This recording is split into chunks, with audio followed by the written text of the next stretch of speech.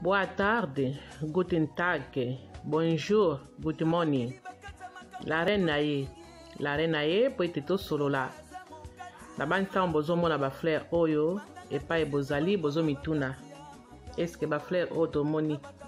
nini la reine alingi alobela biso bofongola matoi boyoka nini oyo la reine alingi koloba Fleur ezalaka signe moko ya esengo, ezalaka mpe signe mpe ya mawa. Pourquoi nalobi ezalaka signe ya esengo, ezalaka signe ya mawa? Bokoyoka yango kala mingi te. Ya liboso nalingi na souhaite ba amoureux na ba amoureuses oyo bafetaka sa valentin na ndenge ya solo nabwakeli bino bafrere ebele malgré tout fete yango bon toyebi te toyei kaka koyebi yango na mboka ya mindele mais eza nango normal bon balandaka kaka eloko ya malamu oyo ya mabe balandaka te mais ya malamu yango balandaka mpo na ngai eza nango normal soki bolingani na bino mpenza na mitema bino baye mwasi ya mobali bofete na bino nabwakeli bino baflere ebele me na baoyo bazelaka kaka sa valentin ezala mwasi ezala mobali baoyo bazelaka kaka sa valentin le 14 wana février en tout cas bawana ngai napesa na bango deja nkombo ke na novembre bakolanda bino mbangu me bowangana te bolobaka eza ya bino bino mpe basi bofongola bapara na bino mitema boloba verite bino bana bolakisa mpe bato yango komsa eteyaka bango Bon, eloko nga lingi na loba ezali concernant biso bata mokili. Pourquoi na lobi biso bata mokili? Ezali ete omoni tango toza na sante ya malamu, tomimona kaka ke biso tokoka. Biso boye. Donc totombolaka mingi mapeka. Po ete ozotala ke oza na sante ya kitoko, oza na yo bien bon. Ozomona kaka nde yo na yo. Mais nakosenga bandeko na ngai tolongola kaka ata jour moko na année naboyi nanga koloba ke bokendaka kendaka me nakoyebisa bino kaka tolongola kaka jour moko na année tobetaka tour na bahopital tobetaka batour na bahopital comme ça totambolaka esika bamaladi tomona bato oyo baza na kati na mbeto hopital baoyo bazosouffrir apartir ya wana tokozala mpe na mitema moko ya mawa tokozala mpe bato moko oyo tokoyebaka mpe kobanga nzambe tokotambolaka na kobanga nzambe lelo bato mingi balobaka ke ngai natambola na kobanga nzambe ngai nakendaka eglize ngai boye nonnnnnnn kokende eglize eza malamu me elingi koloba te ke ozotambola na kobanga nzambe tobetaka tour na bahopitau mpo so toyebi tokende na basimitiere lonely eloko te okenda no na cimetière omoni kaka ah, bakundi bato atango ozozonga na yo obosana me tobetaka tour na bahopital tomona bato oyo bazosouffrir eza na bato mosusu otali ye mpena boyo moko bandi kolela moto azala su na apeti te akoka su kolia te akoka su koloba te moto mosusu ye nyonso aziki donc bato ya ndenge na ndenge baza na bahopital wana tomonaka yango wana nga na kosenga bandeko na biso totambolaka na bahopital po pourkui nazoloba boye po ete nazomona mokili oyo nazoyoka mpasi na motema nazoyoka mpasi na motema eh, komona bandeko na biso eh, ndeti ndeko na biso dadi auti kokufa pema na kimia mes condoléances na famille na bino mobimba donc esali nga mpasi douleur oyo nayoki en tout cas touti koyoka dia touti koperde pululu kala mingi te mindondo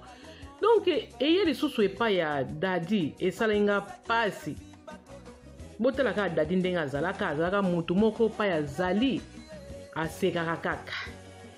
eza na théâtre eza ba interview na soko landi yango mona asekaka na ye kaka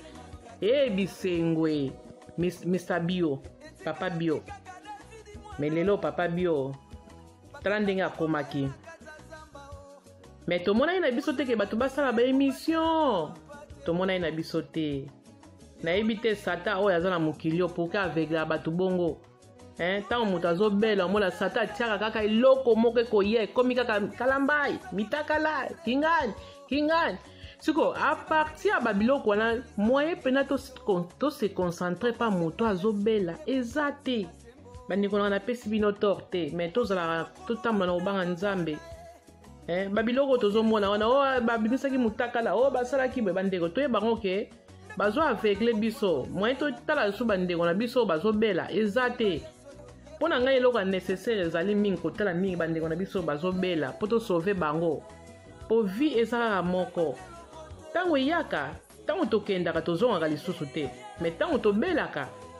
tozongaka toko tozongaka mpenza sante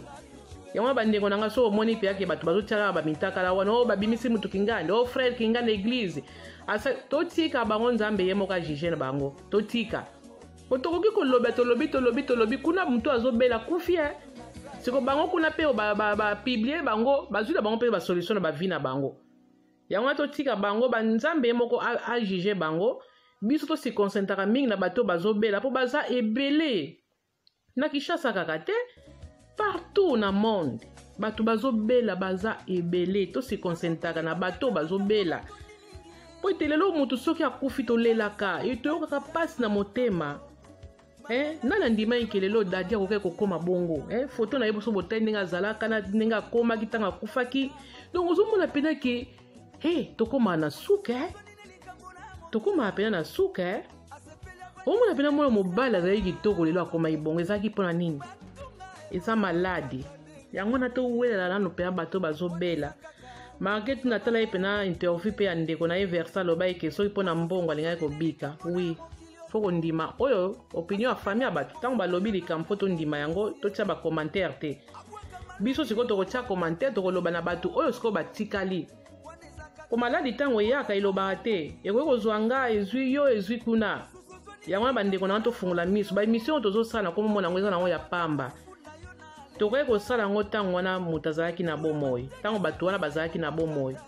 me biso tozelaka bato soki bakufi tokomi osala baémission pamapama tokomi koanalyse makambo totika biso baanalyse wana ya mo mpe epesaka nga kanda eloko ya bie bandeko na ngai oyo akolanda ngai eh, na ntango oyo totikama makambo oyo ezanga ntina ezanga motu na makolo totala mi bandeko na biso bazobela na banzi boyoki ngai bosabone na, na chaîne na nga botalaka kaka te botali bokofina mpe te ke bofinaka te eloko te botalaka kaka eh, bosabone na rouge wana bosabone bomona lisusu bamakambo ya malamu ekoya lisusu soki bomonaka la reine mingi te mpo ete la reine asalaka la reine asalaka bon eza don oyo nzambe apesa ye eza don na ngai na kotika yango te napesa bana banda kopesa yango banda kala na, na facebook sikoyo ndenge ekóma na yango youtube bon eza mpo na motu nyonso moto nyonso asengeli afongola koki na ye kofongola me tofingaka te tofingaka te tofongola yango mpo esalaka ba implice na, na vie ya bato biso bato nyonso tozovivre na mokili toza na mposa ya koyoka baconseil mpo baconseil yango nde ezosala biso to tozala basante malamu toza na mposa te ke toyaka na bainternet to banda ofingana nga kutu bokotikaka koyoka ngai mpe nazofinga moto te eza ndenge na ngai te nafongoli youtube na nga mpo napesaka baconseil mpo conseil na nga ekokufela kaka nga boye te yango wana oyo aza na mato ya koyoka ayoka oyo mpe azali na mato ya koyoka te probleme te site na nga bon oyo akotala yango oyo asepeli me bosabone bosabone mpo bozwaka masolo ya kitoko bofinaka mpe bagefent mia wana bofinaka yango bagm bofinaka pardon nabondeli bino mpo ete naza na mposa na sauve mpe mokili oyo na ndenge na ngai ok babizu ebele nalingi bino mingi